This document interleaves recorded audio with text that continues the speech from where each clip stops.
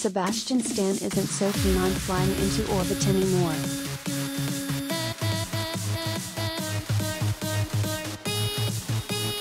In 2016, the Pam and Tommy star told the Late Show host Stephen Colbert that he'd happily join him for some space tourism.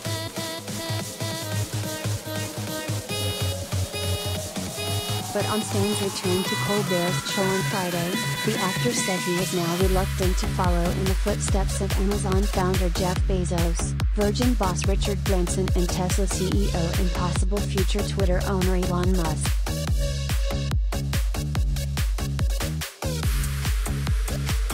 I don't know if I trust those guys with my life, Stan told Colbert.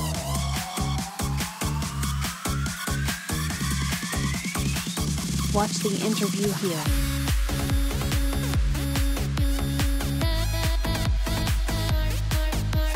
And check out Stan's comments from 2016, when he likened an idea of Elon Musk's to something Donald Trump would say, here.